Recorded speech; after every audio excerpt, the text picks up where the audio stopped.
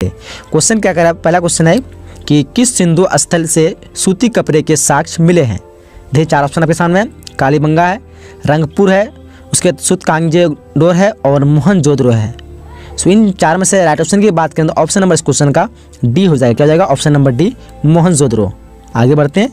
Question number दूसरा है कि सिंधु निवासी क्या कह रहा है? सिंधु वासी के प्रमुख देवता कौन थे? सिंधु वासी के वासियों के जो प्रमुख नेता, कौन थे? इंद्र है, विष्णु है, उसके पशुपति महादेव है या फिर गणेश है? सो इन चार में से राइट ऑप्शन की बात करें तो ऑप्शन नंबर इस क्वेश्चन का सी हो जाएगा, यानी पशुपति महादेव। क्या जाएगा? पशुपति महादेव। आगे बढ़ते क्वेश्चन नंबर थ्री कह रहा है। सिंधु घाटी सभ्यता की जुड़वा राजधानी थी। सिंधु घाटी सभ्यता की जुर्मा राजधानी। थी कौन सी थी देख पा रहे मोहनजोदड़ो है मोहनजोदड़ो चंद्रहुद्रो है, हरप्पा, लोथल या फिर हरप्पा मोहनजोदड़ो या फिर लोथल, कालीबंगा। सो यहाँ पे राइट ऑप्शन की बात करें तो राइट ऑप्शन क्या होगा? Option number C Harappa Mohenjodaro तीन क्या होगा? ऑप्शन नंबर सी आगे बढ़ते हैं। क्वेश्चन नंबर फोर क्या करा है? देख पा रहे मोहनजोदड़ो की खोज 1922 में किसने की थी? काफ़ी इंपोर्टेंट क्वेश्चन है। मोहनजोदड़ो खोज 1922 में किसने की थी? दयाराम साहनी, राखलदास बनर्जी, या फिर माधव वत्स या फिर Ranganath Rao? Question number four का राइट ऑप्शन ऑप्शन नंबर क्या हो जाएगा? बी हो जाएगा राखलदास बनर्जी। यानी इसको आर डी बनर्जी कह सकते हैं। बाकी दयाराम साहनी जो है हरप्पा की खोज की कब की थी? तो 1921 में। चलिए, आगे बढ़ते हैं। क्वेश्चन नंबर फाइव करा किस स्थान से शतरंज की तरह के खेल के प्रमाण प्राप्त हुए किस स्थान से शतरंज की तरह के खेल के प्रमाण प्राप्त हुए? कालीबंगान है हरप्पा है मोहनजोदड़ो है या फिर लोथल? सो so, इस क्वेश्चन में राइट ऑप्शन की बात करूँ तो ऑप्शन जाएगा ऑप्शन नंबर ए यानी हरप्पा। क्या जाएगा? Option number A Harappa. चलिए आगे बढ़ते हैं। क्वेश्चन नंबर सिक्स की तरफ़ देख पा रहे हैं। क्वेश्चन नंबर सिक्स क्या कह रहा है? मौर्य वंश का अंतिम राजा कौन था?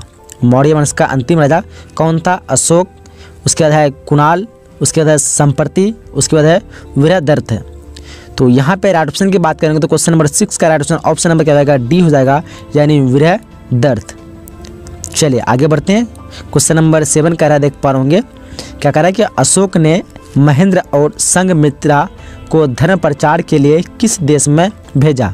अशोक ने महेंद्र और संगमित्रा जो था, उसको धर्म प्रचार के लिए कौन से देश में भेजा था, चार ऑप्शन देख पाएँगे मिस्र है, जापान है, वर्मा है और सिन सिन सिंहल द्वीप है। सो यहाँ पे राइट ऑप्शन की बात करें तो ऑप्शन ऑप्शन नंबर डी हो जाएगा, यानी सिंहल द्वीप। चलिए, आगे बढ़ते हैं। क्वेश्चन नंबर एट करा है, आर्यभट्ट कहाँ का वासी था? आर्यभट्ट कहाँ का वासी था? मालवा, कश्मीर, उसके बाद है तक्षशिला या फिर Patna. So question number eight का राइट ऑप्शन की बात करें तो राइट ऑप्शन ऑप्शन नंबर इस क्वेश्चन का डी हो जाएगा, यानी पटना। आर्यभट्ट जो है, कहाँ का निवासी था? तो आठ का क्या हो जाएगा? ऑप्शन नंबर डी पटना का निवासी था। चले आगे बढ़ते हैं। क्वेश्चन नंबर नाइन करा भारतीय इतिहास का कौन सा काल स्वर्ण काल का मतलब स्वर्ण काल कहा था ये भी काफ़ी इंपोर्टेंट क्वेश्चन है। भारतीय इतिहास का कौन सा काल जो है स्वर्ण काल का मतलब कहलाता है? मौर्य काल, गुप्त काल, मुगल काल या फिर अंग्रेज़ों का काल। तो क्वेश्चन नंबर नाइन का राइट ऑप्शन की बात करें तो क्या होगा ऑप्शन नंबर बी यानी गुप्त काल। चलिए आगे बढ़ते हैं। क्वेश्चन नंबर दसवां करा है समुद्रगुप्त की तुलना किस यूरोपीय शासक से की जाती है? ये भी काफ़ी इंपोर्टेंट क्वेश्चन है। देख पा रहे नेपोलियन है, हिटलर है विस्मार्क है या फिर मोसोलिनी है। सो क्वेश्चन नंबर दस का right option option number B हो जाएगा, यानी नेपोलियन। क्या हो जाएगा? नेपोलियन। चलिए क्वेश्चन नंबर ग्यारहवा कह रहा है, अर्जुन किसके शिष्य थे? अर्जुन देव है, वो थे वो किसके शिष्य थे? भीष्म या फिर विदुर या फिर द्रोणाचार्य या फिर भीम? सो क्वेश्चन नंबर ग्यारह का राइट ऑप्शन जाएगा ऑप्शन नंबर सी यानी द्रोणाचार्य। किसके शिष्य थे? तो द्रोणाचार्य के। चलिए आगे बढ़ते हैं। क्वेश्चन नंबर बारहवा का है। देख पा होंगे कि मनुस्मृति में कितने प्रकार के विवाह का उल्लेख किया गया है। मनुस्मृति में कितने प्रकार के विवाह का उल्लेख किया गया है? चार ऑप्शन दिया होगा आपके सामने। में देख पा रहे छः चार, आठ या फिर नौ? सो इस क्वेश्चन का राइट ऑप्शन की बात करें तो राइट जाएगा ऑप्शन नंबर इस क्वेश्चन का सी हो जाएगा, यानी आठ प्रकार के। कितने प्रकार के? तो आठ प्रकार के राइट आंसर होगा। चलिए आगे बढ़ते हैं। चलिए उसके क्वेश्चन नंबर तेरहवा करा देख पा रहे कर्ण की माँ कौन थी? कर्ण की माँ कौन थी? कुंती, गांधारी, या फिर माद्री, या फिर सत्यवती? सो क्वेश्चन नंबर तेरह का राइट ऑप्शन हो जाएगा ऑप्शन नंबर ए यानी कुंती। कौन थी? कुंती। चलिए क्वेश्चन नंबर फोर्टीन करा देख पाएँगे रामायण की रचना किसने की? रामायण की रचना किसने की? वाल्मीकि है, मनु है, वेदव्यास है या फिर यज्ञ वलक्य है? क्वेश्चन नंबर फोर्टीन का राइट ऑप्शन ऑप्शन नंबर क्या हो जाएगा? ए हो जाएगा, यानी वाल्मीकि। रामायण की रचना किसने की थी? तो वाल्मीकि। चलिए आगे बढ़ते हैं। क्वेश्चन नंबर फिफ्टीन का देख पा पाएँगे। आर्यों का सबसे पर सॉरी आर्यों का सबसे प्रमुख पशु कौन था?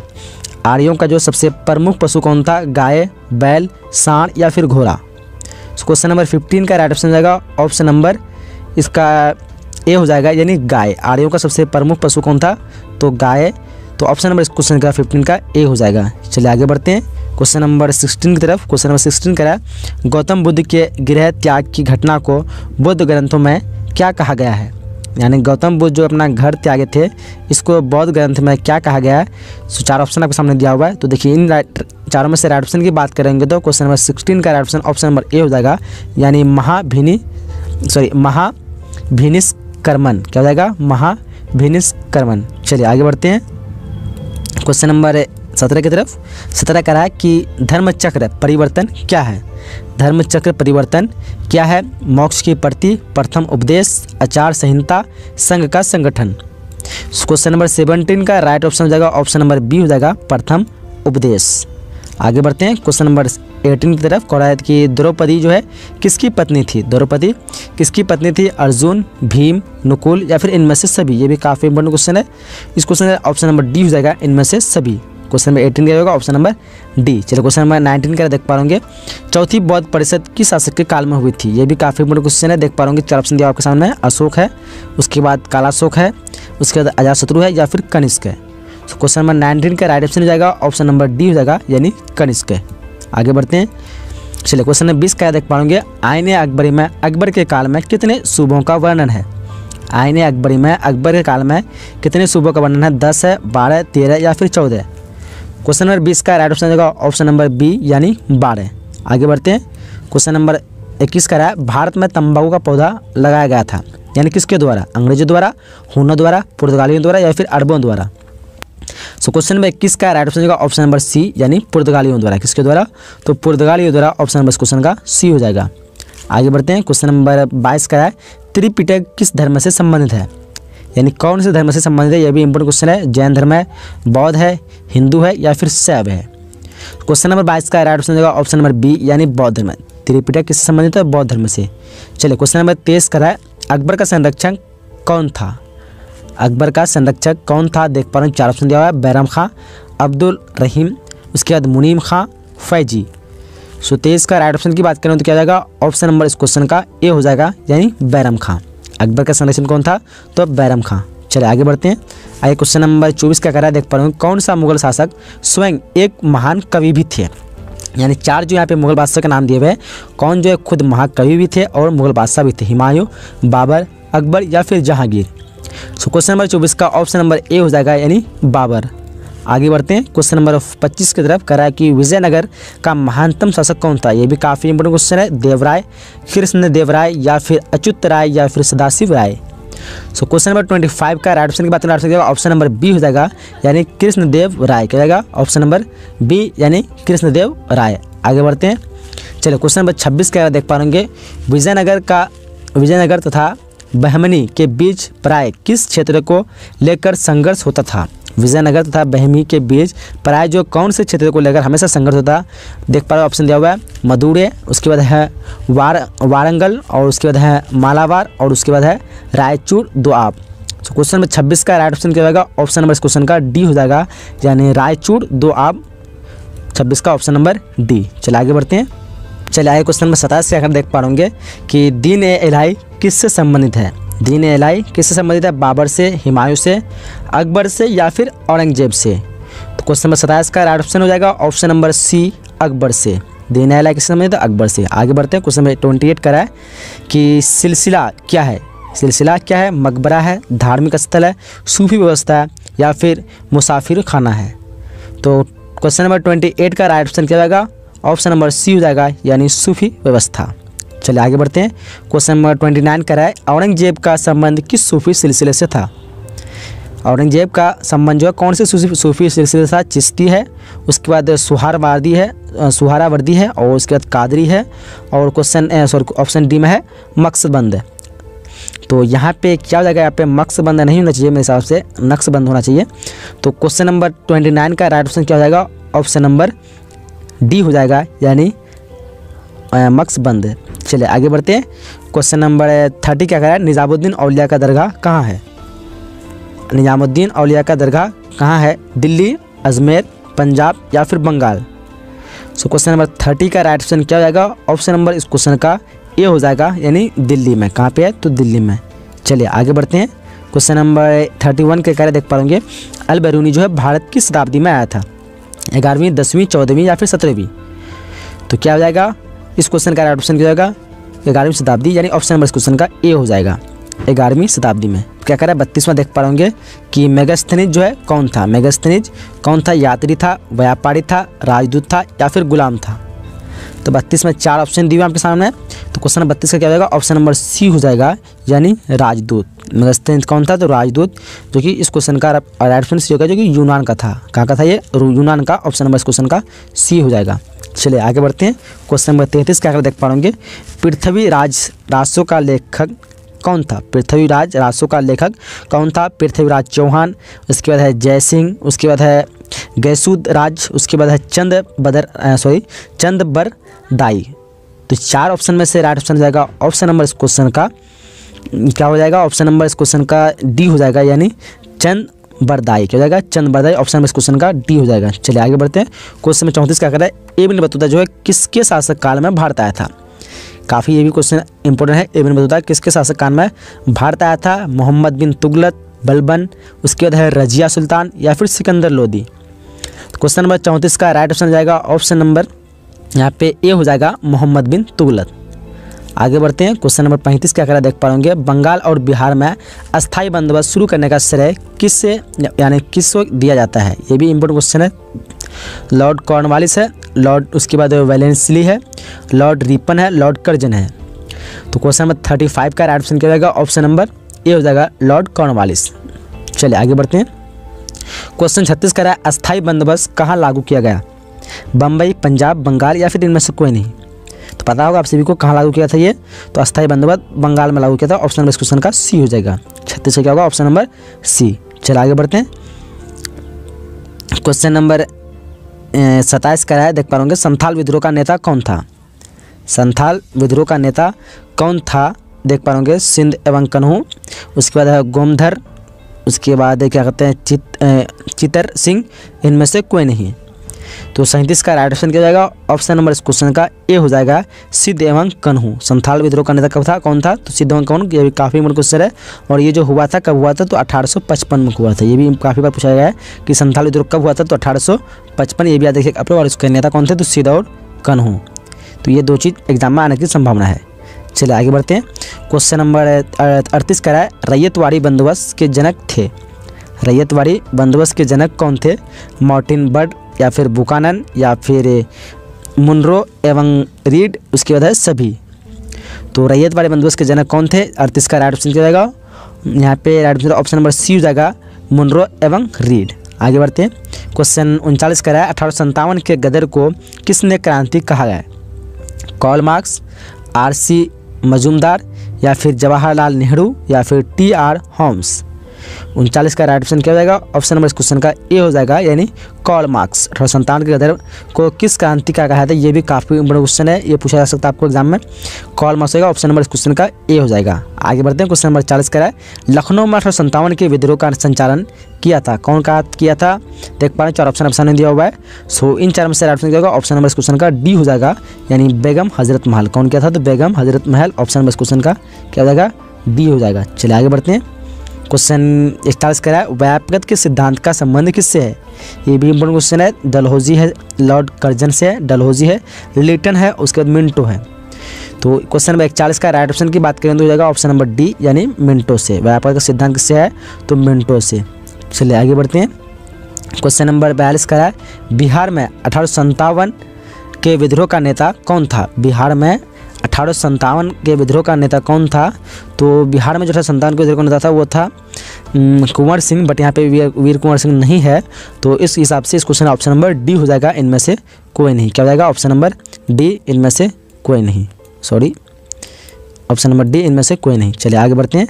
क्वेश्चन नंबर तैंतालीस, क्या कर देख पाओगे विक्टोरिया टर्मिनस किस शैली का इमारत है?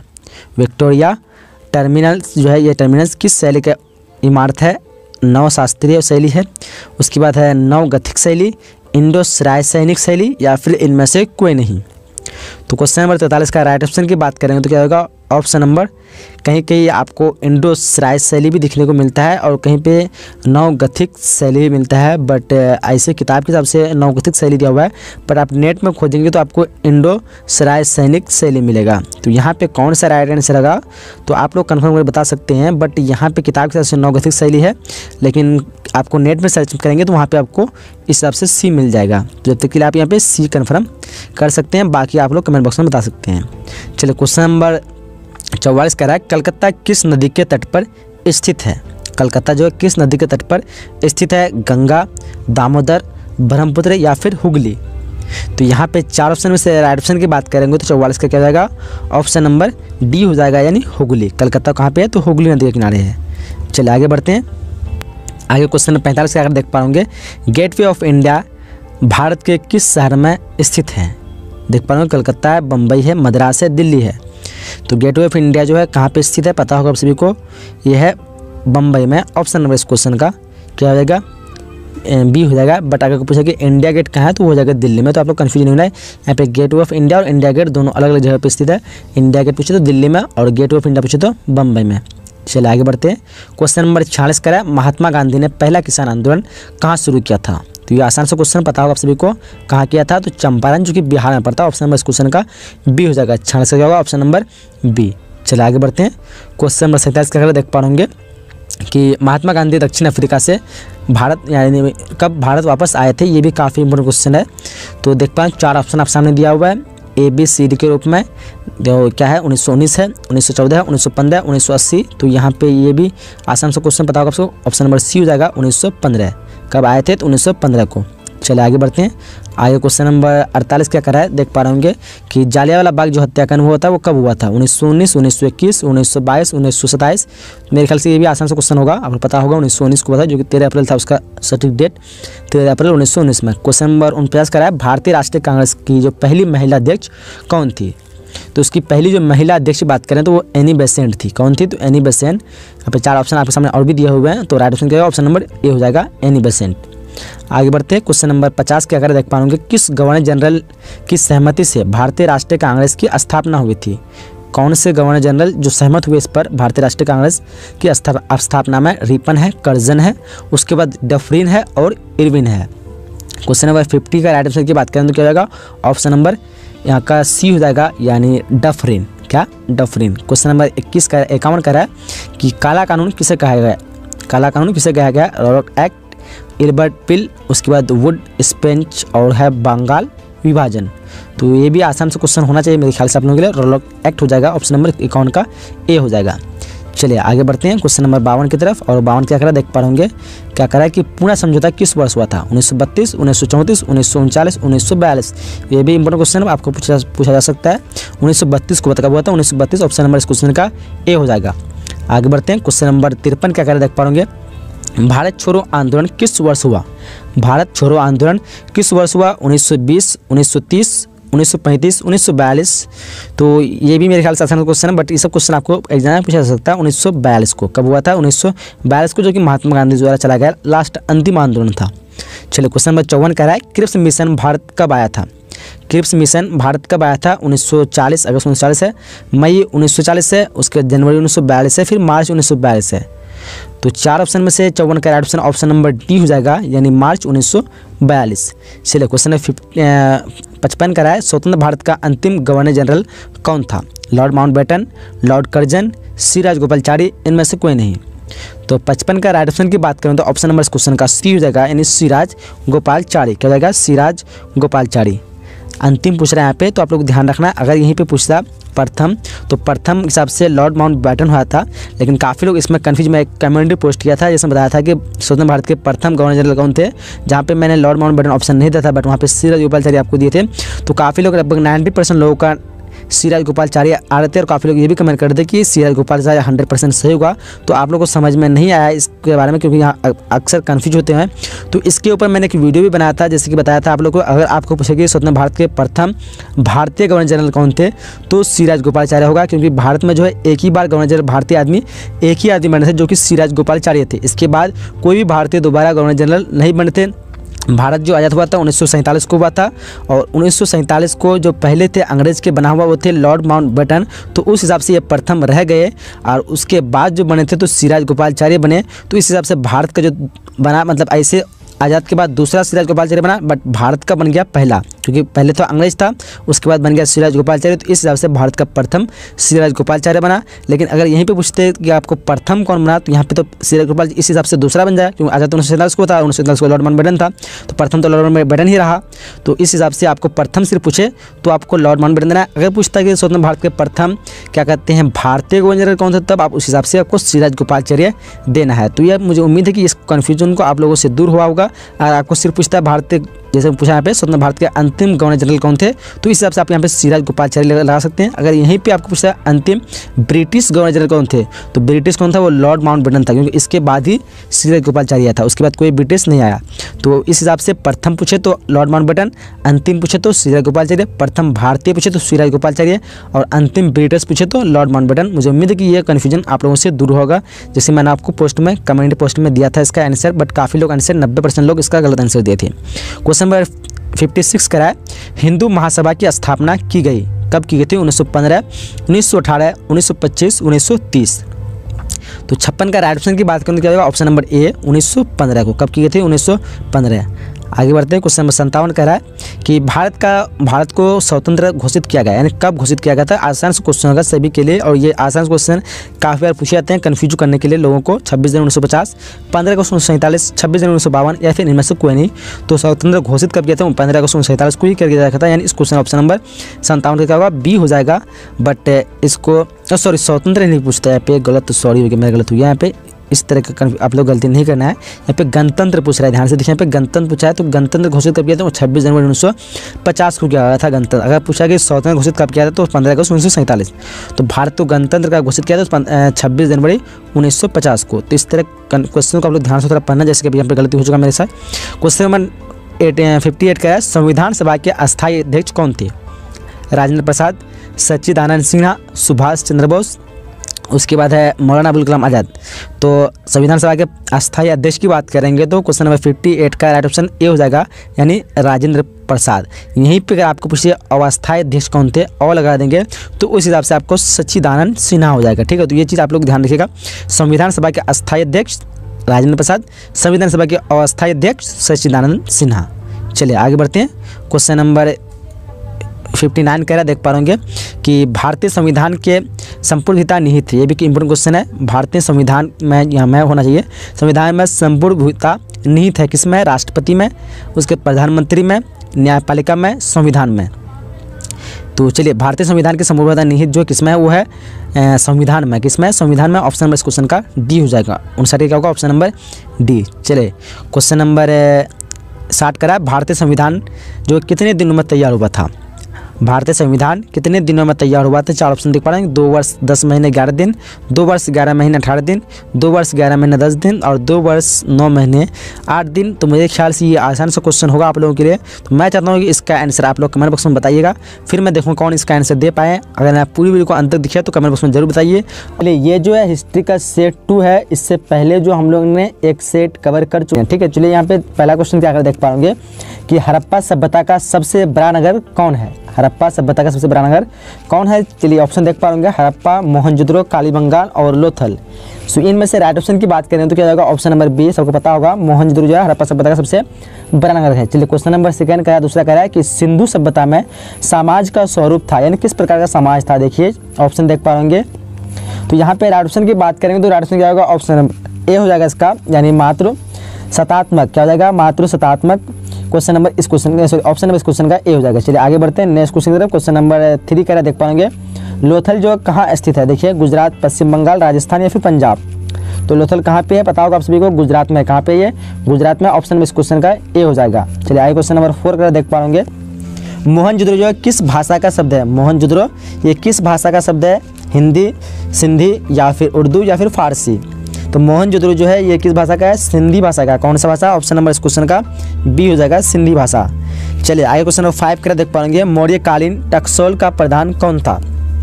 मौर्यकालीन टक्सोल का प्रधान कौन था? देखिए ऑप्शन चार दिया आपके सामने में। कोषाध्यक्ष है, मुद्रा क्या कहते हैं? मुद्राध्यक्ष है, और उसके बाद पाण्याध्यक्ष है, और लव ना क्या कहते हैं? लव्य नाध्यक्ष है, और काफ़ी स्टूडेंट का कमेंट मुझे ये भी आता है कि सर ऑप्शन मत बोला कीजिए डायरेक्ट उसका आंसर बता दीजिए तो मैं आप लोग बता दूँ कि ऑप्शन अगर बोलेंगे तो आपको जो है सोचने का टाइम मिल जाएगा। इससे आप सोच पाएँगे कितने क्वेश्चन आपसे बन पाते हैं, कितने नहीं पाते हैं, और इससे और एक लोगों का भला होगा, जो नेत्रहीन है, जो देखने की क्षमता कम उसको तो ये ऑप्शन बोलने से उसको समझ में आ जाएगा, क्योंकि काफ़ी नेत्रहीन ऐसे स्टूडेंट जो मुझे कमेंट कर रहे थे, सर ऑप्शन भी बोला कीजिए साथ में। तो इसलिए आप लोग इसको ध्यान से एक बार सोचिए दिल से, और उसके बाद अपने से कमेंट करने की कोशिश कीजिए, बताने की कोशिश कीजिए कि आंसर किसका हो जाएगा, ठीक है तो इसलिए मैं ऑप्शन के साथ आप लोग को बोल रहा हूँ। क्वेश्चन नंबर सिक्स करा है कि अशोक जो है, किस वंश का शासक था? अशोक किस वंश का शासक था? नंद वंश है, मौर्य वंश है, गुप्त वंश है और चोल वंश है। सो क्वेश्चन नंबर सिक्स का राइट ऑप्शन क्या होगा? मौर्य वंश ऑप्शन नंबर बी हो जाएगा। क्या हो जाएगा? ऑप्शन नंबर बी चलिए आगे बढ़ते हैं। Next question question number seven का देख पाएँगे तार में क्या कहते हैं? लिपि तार में लिप्ति जो है बंदरगाह, वो अवस्थित है। कहाँ पे है? अवस्थित था गुजरात में, केरल में, बंगाल में या फिर महाराष्ट्र में? तो ये कहाँ पे था? गुजरात में था ऑप्शन नंबर इस क्वेश्चन का ए हो जाएगा, साथ क्या हो जाएगा? ऑप्शन नंबर ए चलिए, आगे बढ़ते हैं। क्वेश्चन नंबर आठ की तरफ़। क्वेश्चन नंबर आठ के कर देख पा रहे कि कलिंग युद्ध का वर्णन किस अभिलेख में किया गया? कलिंग लिंग कलिंग युद्ध जो हुआ था, उसका जो वर्णन हुआ, जो कौन से अभिलेख में किया गया था, देखिए ऑप्शन चार दिया हुआ है, दसवें, ग्यारहवें, बारहवें या फिर तेरहवें शिलालेख। तो आसान सा क्वेश्चन आप सभी को पता होगा, तेरहवें शिलालेख में कलिंग युद्ध के बारे में वर्णन किया गया है। ऑप्शन नंबर इस क्वेश्चन का डी हो जाएगा। चलिए, आगे बढ़ते हैं। क्वेश्चन नंबर नाइन क्या कह रहा है कि पाटलिपुत्र नगर की स्थापना किस नदी के संगम सॉरी संगम पर की गई है? काफ़ी इंपॉर्टेंट क्वेश्चन है। देख पा रहे गंगा सोन है, सोन यमुना है, कृष्ण कावेरी है और इनमें से कोई नहीं है। तो क्वेश्चन नंबर नाइन का राइट ऑप्शन क्या जाएगा ऑप्शन नंबर ए हो जाएगा गंगा और सोन। चलिए, आगे बढ़ते हैं। क्वेश्चन नंबर टेन कराए कि मनुस्मृति के रचिता थे, यानी कौन थे? वेद व्यास है, वाल्मीकि है, मनु है, और यगल क्या कहते हैं? याग यागवल्यक्य है। यागवल्य है शायद? हाँ यागवल्य है। तो यहाँ पे राइट ऑप्शन की बात करेंगे तो क्वेश्चन नंबर टेन का क्या हो जाएगा? ऑप्शन नंबर सी हो जाएगा, यानी मनु है। चलिए, आगे बढ़ते हैं। क्वेश्चन नंबर ग्यारह करा कि भीम की पत्नी थी, यानी भीम की कौन पत्नी थी? द्रौपदी थी, गंधारी थी, हिडिम्बा या फिर अम्बा तो देखिए, यहाँ पे क्वेश्चन नंबर ग्यारह को राइट ऑप्शन सी हो जाएगा, यानी हिडिम्बा थी चलिए, आगे क्वेश्चन नंबर बारह का रहा है गंगा पुत्र किसे कहा जाता था? सॉरी कहा जाता है? देखिए, अर्जुन दिया हुआ है। उसके बाद विदुर है, भीष्म है, पांडु है। तो यहाँ पे कौन, किसको मतलब गंगा पुत्र कहा था तो आप लोग पता होगा, पढ़ेंगे तो। यानी भीम को, भीष्म को कहा था ऑप्शन नंबर इस क्वेश्चन का सी हो जाएगा। चलिए, आगे क्वेश्चन नंबर तेरह का है कि अभिमन्यु जो है, किसका पुत्र था? अभिमन्यु किसका पुत्र था? अर्जुन है, भीम है, नकुल है। उसके बाद क्या कहते हैं, सहदेव है। ये भी काफ़ी इंपॉर्टेंट क्वेश्चन है। तो क्वेश्चन नंबर तेरह का राइट ऑप्शन की बात करेंगे तो क्या होगा ए हो जाएगा नहीं अर्जुन का। चलिए, आगे बढ़ते क्वेश्चन नंबर चौदह का है कि महात्मा बुद्ध के बचपन का नाम क्या था? वर्धमान है, सिद्धार्थ है देवत है और राहुल है। तो कौन था उसका बचपन का नाम? पता होगा आप सभी को, आसान से क्वेश्चन ही है राइट ऑप्शन जाएगा बी, यानी सिद्धार्थ नाम था। चलिए, आगे क्वेश्चन नंबर फिफ्टीन का है निम्न में से प्राचीनतम वेद कौन है? या सबसे पुराना वेद कौन सा है? देखिए ऑप्शन है सामवेद है, ऋग्वेद है, अर्थवेद है और यजुर्वेद है। तो कौन सा वेद थे? पुराना तो ये हो जाएगा ऋग्वेद ऑप्शन नंबर बी हो जाएगा, पंद्रह का क्या हो जाएगा? Option number B. चलिए, आगे बढ़ते हैं। क्वेश्चन नंबर सिक्सटीन का देख पा होंगे कि हीनयान और महायान जो संप्रदाय किस धर्म से संबंध है? हीनयान और महायान जो संप्रदाय है, किस धर्म से संबंध है? जैन है, बौद्ध है, हिंदू, सिख है। तो पता होगा, आप सभी को बौद्ध धर्म से संबंध है। ऑप्शन नंबर इस क्वेश्चन का बी हो जाएगा। सोलह क्या होगा? Option number B. तो यहाँ पे जितने भी क्वेश्चन है, काफ़ी इंपॉर्टेंट क्वेश्चन तो आप लोग दोबारा इस वीडियो को ज़रूर दिखेगा ताकि आपका प्रैक्टिस अच्छी तरह से हो जाए। चलिए, आगे जो क्वेश्चन देख पा रहे हैं क्वेश्चन नंबर एटीन का है कि फतेहपुर सिकरी को राजधानी किसने बनाया? देखिए ऑप्शन दिया हुआ अकबर है, जहांगीर दिया हुआ है, फिर शाहजहाँ है, बाबर है। तो फतेहपुर सिकरी को जो राजधानी बनाया था, वो बनाया था अकबर ने। ऑप्शन नंबर इस क्वेश्चन का ए हो जाएगा। चलिए, आगे क्वेश्चन नंबर नाइनटीन करा पुलिस करा देख पा रहे कि कुतुबुद्दीन का सॉरी कुतुब मीनार का निर्माण जो किसके स्मृति में करवाया गया था? किसके स्मृति में करवाया मतलब निर्माण उसका किया गया था? देखिए, यहाँ पे कुतुबुद्दीन एवक है और बलबन है, ख्वाजा महनुद्दीन चिश्ती है और बख्तियार काकी है। तो यहाँ पे राइट ऑप्शन की बात करेंगे तो क्वेश्चन नंबर 19 का क्या हो जाएगा? डी हो जाएगा, यानी बख्तियार काकी। बनवाया था किसने?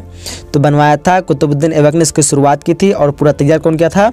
तो क्या कहते हैं, पूरा तैयार करने का श्रेय तो इल्तुतमिश को आता है और यहाँ पे पूछा गया कुतुबुद्दीन निर्माण किसके स्मृति में किया गया था? तो स्मृति में हो जाएगा बख्तियार काकी।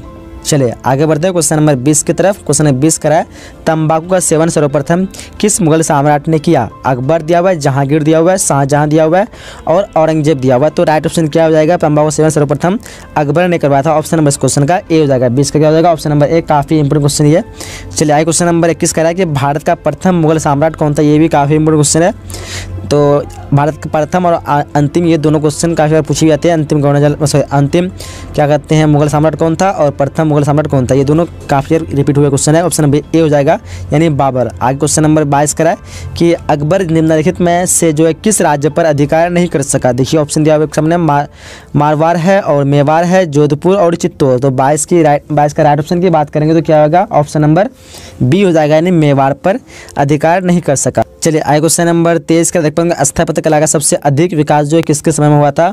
तो चार ऑप्शन देख पाएँगे। अकबर देवा जहांगीर देवा शाहजहां और औरंगज़ेब। तो राइट ऑप्शन की बात करें ऑप्शन नंबर सी हो जाएगा नहीं जहाँ, शाहजहां के काल में। तो यहाँ पे स्थापत्य कला का मतलब होता है नए नए भवन का निर्माण करना, अधिक से अधिक एक तरह का शहर टाइप का बनाना, जहाँ पे अधिक से लोग आए और देखें उसको। तो खूबसूरत खूबसूरत चीज़ों का निर्माण करना, उसी को स्थापत्य कला ऑप्शन में इस क्वेश्चन का। सी जाएगा जो कि शाहजहां के काल में सबसे अधिक हुआ इस तरह का चीज़, जैसे ताजमहल, लाल किला, सब चीज़। चलिए क्वेश्चन नंबर फोर्टीन का देख पा ट्वेंटी फोर का है कि जजिया किससे लिया जाता था। व्यापारियों से, उसके बाद है वृद्ध जीवियों से और सैनिकों से, जिम्मियों से। तो यहाँ पे राइट ऑप्शन की बात करें तो ऑप्शन नंबर डी हो जाएगा ना जिम्मियों से। किससे लिया जाता था? जजिया। तो जिम्मियों से चौबीस का राइट ऑप्शन क्या होगा? डी हो जाएगा। चलिए आगे नेक्स्ट क्वेश्चन की बढ़ते हैं। क्वेश्चन नंबर पच्चीस का देख पा रहे कि विजयनगर के शासक अपने आप को क्या कहते थे? ये भी काफ़ी इंपोर्टेंट क्वेश्चन है। तो विजयनगर के शासक जो अपने आप को क्या कहते थे? राय, समांत या फिर अमात्य या फिर दीवान? तो ऑप्शन में इस क्वेश्चन का ए हो जाएगा नहीं राय कहते थे। क्या कहते थे? राय। चलिए क्वेश्चन नंबर ट्वेंटी सेवन का है कि हम्फी नगर किस साम्राज्य से संबंधित है। हम्पी नगर जो कौन से साम्राज्य से संबंधित है, देखिए ऑप्शन जवाब है, मौर्य साम्राज्य है गुप्त साम्राज्य है, बहमनी साम्राज्य है और विजयनगर साम्राज्य है। तो राइट ऑप्शन क्या आएगा? ऑप्शन नंबर ट्वेंटी सेवन का डी हो जाएगा, यानी sorry question number twenty seven का डी हो जाएगा, यानी विजयनगर साम्राज्य। से किससे? तो विजयनगर साम्राज्य से। आगे क्वेश्चन नंबर ट्वेंटी एट कराया कि आयंगर व्यवस्था जो संबंधित थी, किससे थी? मुगल साम्राज्य से, विजयनगर साम्राज्य से, बहमनी साम्राज्य से और दिल्ली सल्तनत से। तो पता होगा सबको, आयंगर व्यवस्था जो थी, विजयनगर साम्राज्य से तो ऑप्शन नंबर क्वेश्चन का बी हो जाएगा। अठासी होगा? ऑप्शन नंबर बी चलिए, आगे बढ़ते हैं। क्वेश्चन नंबर उनतीस की तरफ़ क्वेश्चन है कि महनवी के डिब्बे को किस विदेशी यात्री ने विजय का भवन की संज्ञा दी है? देखिए, यहाँ पे ऑप्शन है तो राइट ऑप्शन क्या जाएगा? उनतीस का ऑप्शन नंबर इसकी राइट की बात करेंगे तो उनतीस का राइट ऑप्शन हो जाएगा ए हो जाएगा, यानी डेमिगोस पेस क्या जाएगा? डेमिगोस पेस उनतीस का ऑप्शन नंबर ए चलिए नेक्स्ट क्वेश्चन बताए क्वेश्चन नंबर तीस क्या कर देख पा रहे होंगे। क्वेश्चन नंबर तीस कह रहा है यहाँ पे कि बीजक में किसका उपदेश संग्रहित है? कबीर है गुरुनानंद है, चैतन्य है और रामानंद है। तो बीजक में किसका है? आप लोग पढ़ेंगे तो पता होगा बीजक में जो कबीर के उपदेश संग्रहित ऑप्शन में क्वेश्चन का ए हो जाएगा। आगे क्वेश्चन नंबर इकतीस का है कि मीराबाई जो किस वंश की रानी थी? किस वंश की रानी थी? देखिए ऑप्शन दिया पर चौहान है, उसके बाद सिसोदिया है, राठौर है और कछवा है। तो यहाँ पे राइट ऑप्शन की बात करेंगे इकतीस का right option option number B हो जाएगा, यानी Chauhan.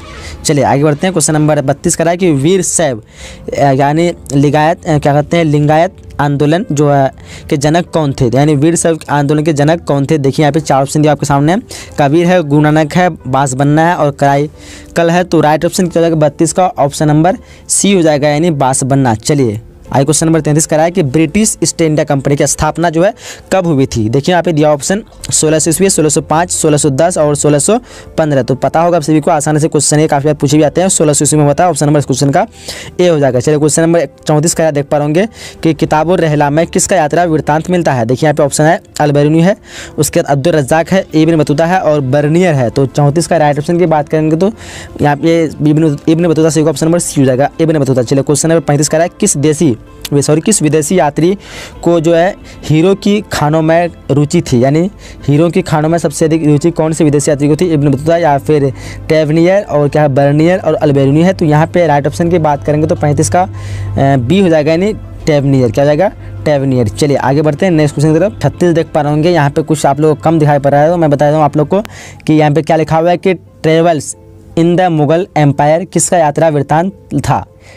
Travels in the Mughal empire जो है, किसका यात्रा वृत्तांत था? देखिए यहाँ पे चार ऑप्शन दिया आपके सामने अलबरूनी है इबन बतूता है। उसके बाद क्या कहते हैं, थोड़ा कम दिख रहा होगा तो फ्रांस हुआ, बर्नियर है। उसके बाद क्या है, ये पीटर मुंडो है। हाँ तो ये पीटर मुंडो है। तो यहाँ पे राइट ऑप्शन की बात करेंगे तो छत्तीस का राइट ऑप्शन क्या हो जाएगा? ऑप्शन नंबर इसका बी हो जाएगा, यानी इब्न बतूता किसका जाता था तो इब्न बतूता चलिए, आगे बढ़ते हैं। क्वेश्चन नंबर सैंतीस करा, ये भी थोड़ा कम दिख रहा है आप लोगों को। करा कि दमीन एक कू जो है, क्या था? ये आसान से क्वेश्चन है। दमीन एक कू क्या था? एक भूभाग था। ऑप्शन क्वेश्चन का ए हो जाएगा। सैंतीस का होगा? ऑप्शन नंबर ए चलिए, आगे बढ़ते हैं। क्वेश्चन नंबर अड़तीस क्या करा? देखिए ध्यान से। करा कि अस्थाई बंदोबस्त का जनक था कौन था? मॉर्टिन वर्ड है, या फिर मुनरो है, या फिर कॉर्नवालिस या फिर जानसोर तो थर्टी एट का राइट ऑप्शन की बात करेंगे तो क्या होगा? ऑप्शन नंबर सी हो जाएगा नहीं कॉर्नवालिस अस्थाई बंदोबस्त का जनक कौन था? तो कॉर्नवालिस ऑप्शन नंबर इस क्वेश्चन का सी हो जाएगा। चलिए क्वेश्चन नंबर उनचालीस कराया कि वॉरेन हेस्टिन ने द्वैध शासन प्रणाली को समाप्त किया। वॉरेन हेस्टिन ने द्वैध शासन प्रणाली को कब समाप्त किया? देखिए ऑप्शन चार दिया हुआ है, सत्रह सौ तिहत्तर, सत्रह सौ बहत्तर, सत्रह सौ चौहत्तर और सत्रह सौ पचहत्तर। तो देखिए क्वेश्चन नंबर उनचालीस का राइट ऑप्शन क्या होगा? ऑप्शन नंबर इस क्वेश्चन का बी हो जाएगा सत्रह सौ बहत्तर को। कब? तो सत्रह सौ बहत्तर, उनचालीस का राइट ऑप्शन क्या होगा बी हो जाएगा। चलिए क्वेश्चन नंबर चालीस करा कि मुंडा, विद्रोह का नेता कौन था? तो पता होगा सभी को, सिद्धू एवं कानू दिया ऑप्शन में, और क्या कहते हैं स्वेरम है, और क्या कहते हैं, बिरसा मुंडा और चितर सिन्हा। तो यहाँ पे राइट ऑप्शन क्या हो जाएगा? ऑप्शन नंबर इस क्वेश्चन का सी हो जाएगा, यानी बिरसा मुंडा यहाँ से आप लोग कर सकते हैं, मिला सकते हैं। मुंडा यहाँ पे दिया तो मुंडा, यहाँ पे दिया तो मुंडा का क्या जाएगा? बिरसा मुंडा चलिए, आगे बढ़ते क्वेश्चन नंबर इकचालीस का देख पाएँगे। जी क्या कहता है कि उल गुलाल, विद्रोह का नेता था। उल गुलाल जो विद्रोह था, इसका नेता कौन था? सिद्ध है। उसके बाद क्या कहते हैं, चित्तर सिंह है और क्या कहते हैं, गोमधर कुंवर है और बिरसा मुंडा। तो यहाँ पे राइट ऑप्शन की बात करूँ इकचालीस का ऑप्शन नंबर डी हो जाएगा बिरसा मुंडा। आज क्वेश्चन नंबर बयालीस का है, देख पाएँगे अठारह संतावन के विद्रोह के समय। ब्रिटेन के प्रधानमंत्री कौन थे? उस समय ब्रिटेन के प्रधानमंत्री कौन थे जब अठारह का विद्रोह हुआ था? देखिए यहाँ पे दिया हुआ चर्चिल है। उसके बाद क्या कहते हैं, फार्मस्टन है और क्या है टेलर है और क्या कहते हैं लॉरेंस है। तो बयालीस का राइट ऑप्शन की बात करें तो ऑप्शन नंबर इसका बी हो नहीं पॉर्मस्टन चलिए आगे बढ़ते हैं क्वेश्चन नंबर तैंतालीस का रहा है कि अवध में स्वतंत्रता अवध में स्वतंत्रता सेनियों का नेतृत्व जो किसने किया था? अवध में स्वतंत्रता सेना जो हुआ था, उसका नेतृत्व किसने किया था? देखिए, बैगम हज़रत महल है, ये भी काफ़ी मुर्ग क्वेश्चन है, खान बहादुर खान बहादुर शाह बहादुर शाह द्वितीय और क्या कहते हैं, तात्या टोपे। तात्या टोपे तो तैंतालीस का राइट ऑप्शन की बात करेंगे तो राइट ऑप्शन क्या होगा? ऑप्शन नंबर ए हो जाएगी बेगम हज़रत महल। आगे क्वेश्चन नंबर चौवालीस करा। भारत में जो रेलवे लाइन की शुरुआत हुई कब हुई थी? अठारह सौ तैंतीस, अठारह सौ तिरपन, अठारह सौ संतावन अठारह सौ इकसठ, ये काफ़ी ईजी क्वेश्चन है काफ़ी पूछा भी जाता है। तो चौवालीस का राइट ऑप्शन की बात करेंगे तो क्या जाएगा? ऑप्शन नंबर बी हो जाएगा। क्या हो जाएगा? ऑप्शन नंबर बी यानी अठारह सौ तिरपन। चलिए आई क्वेश्चन नंबर है। पैंतालीस का देख पाएँगे। अठारह संतावन की क्रांति का क्रांति की आरंभ जो हुई थी, कब हुई थी? देखिए ऑप्शन है दस मई है, उसके बाद तेरह मई है, अठारह मई है और छब्बीस मई है। तो कब हुई थी अठारह संतावन की क्रांति आरंभ? तो वो हुई थी दस मई को ऑप्शन इस क्वेश्चन का ए हो जाएगा। चलिए, आगे बढ़ते हैं क्वेश्चन नंबर छियालीस की तरफ़। देखिए, छियालीस क्वेश्चन क्या कर ध्यान से पढ़िए आप लोग कि गेटवे ऑफ़ इंडिया का निर्माण जो है, कब हुआ था? गेटवे ऑफ़ इंडिया पूछना यहाँ पे उन्नीस सौ दस, उन्नीस सौ ग्यारह, उन्नीस सौ बारह या फिर उन्नीस सौ चौदह। तो छियालीस का राइट ऑप्शन की बात करेंगे तो उन्नीस सौ ग्यारह राइट ऑप्शन का बी हो जाएगा। चलिए, आगे बढ़ते हैं क्वेश्चन नंबर सैंतालीस कह रहा है। कलकत्ता में जो सर्वोच्च न्यायालय की स्थापना कब हुई थी, ये भी काफ़ी इंपोर्टेंट क्वेश्चन है। अठारह सौ पचासी दिया अठारह पंद्रह सौ तिहत्तर है। उसके सत्रह सौ इकहत्तर है अठारह सत्रह सौ तिहत्तर है। तो कलकत्ता में सर्वोच्च न्यायालय की स्थापना जो कब हुई थी तो ये हुई थी सत्रह सौ तिहत्तर। इसमें ऑप्शन नंबर इस क्वेश्चन का क्या हो जाएगा? डी हो जाएगा। क्या हो जाएगा? ऑप्शन नंबर डी सत्रह सौ तिहत्तर।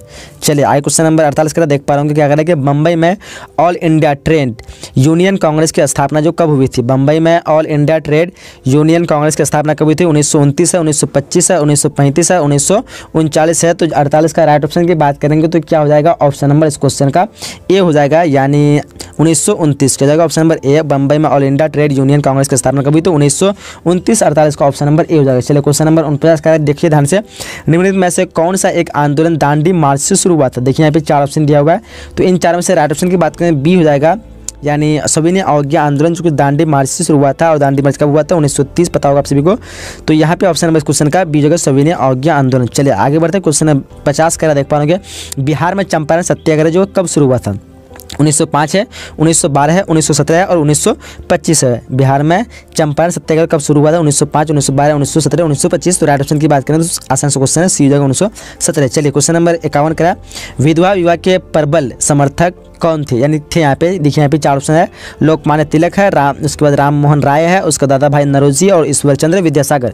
तो इक्यावन का राइट ऑप्शन की बात करें तो क्या होगा? ऑप्शन नंबर इसका डी हो जाएगा। कौन हो जाएगा? Option number D Ishwar Chandra Vidyasagar. चलिए क्वेश्चन नंबर बावन करा। देखिए ध्यान से, महात्मा गांधी की आत्मकथा, जो किस भाषा में है? यानी कौन सी भाषा में आत्मकथा? उसकी अंग्रेज़ी है, हिंदी है, गुजराती है और बंगला है। तो महात्मा गांधी का जो आत्मकथा है, वो किस भाषा में देखिए यहाँ पे ध्यान से चार ऑप्शन दिए हुए हैं।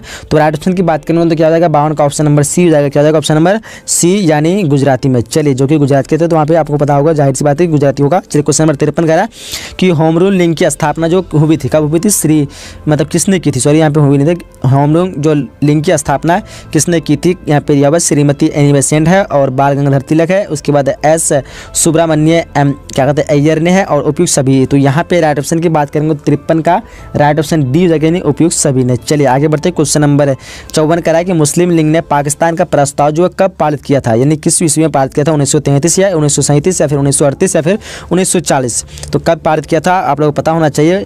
इसका राइट ऑप्शन की बात करेंगे तो ये हो जाएगा डी नंबर, यानी 1940 को। कब किया था? मुस्लिम लीग ने पाकिस्तान का प्रस्ताव।